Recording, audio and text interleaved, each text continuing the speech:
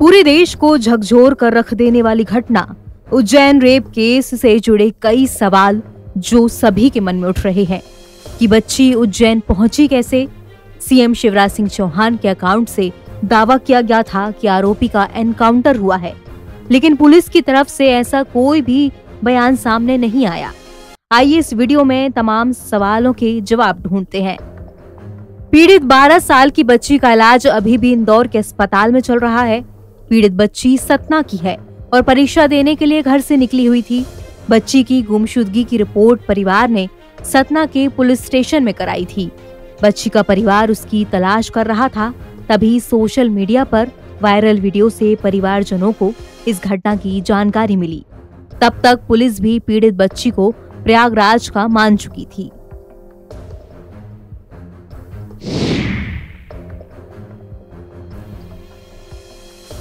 Viral video में बच्ची अर्ध नग्न हालत में सभी से मदद की गुहार लगाती दिख रही थी। उज्जैन पुलिस को जब ये जानकारी मिली कि बच्ची सतना के पास एक गाँव की रहने वाली है, तब सतना पुलिस से संपर्क किया गया और परिवार को जानकारी दी गई। दरअसल पीड़ित बच्ची के ही किसी रिश्तेदार ने उसे वायरल वीडियो में सड़कों पर घूमते देखा और परिवार को इसकी जानकारी दी।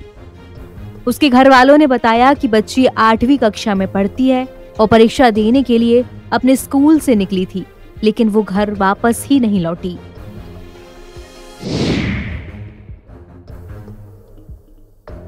उज्जैन पुलिस ने इस घटना के मुख्य आरोपी ऑटो ड्राइवर भरत सोनी को गिरफ़्तार कर लिया। 38 साल के आरोपी ने अपना अपराध कबूल कर लिया है और पुलिस ने पीड़िता के खून से सने कपड़े भी बरामद कर लिए हैं।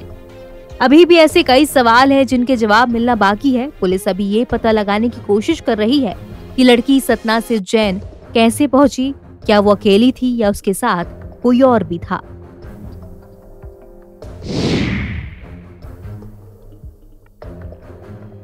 इस मामले के आरोपी भरत सोनी के पिता से मीडिया ने बात की। आरोपी के पिता का कहना है कि उनके बेटे ने घिनौना काम किया और उन्हें शर्मसार किया। इतना ही नहीं, आरोपी ने पुलिस की गिरफ्त से भागने की कोशिश भी की और इस कोशिश में वो कंक्रीट की दीवार से टकरा कर घायल हो गया। इससे पहले मीडिया में खबरें थी कि आरोपी का एनकाउंटर हुआ है, लेकिन एक वरिष्ठ पुलिस इंस्पेक्टर ने इस बात से इनकार किया कि आरोपी पुलिस फायरिंग में घायल हुआ है।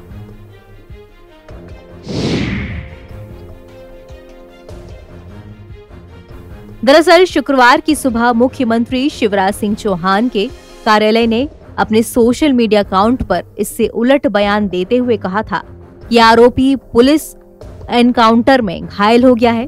बाद में सीएम के सोशल मीडिया अकाउंट से ये मैसेज डिलीट कर दिया गया। मतलब आरोपी का एनकाउंटर नहीं हुआ था, वो टकराकर गिर गया था और घायल हुआ था।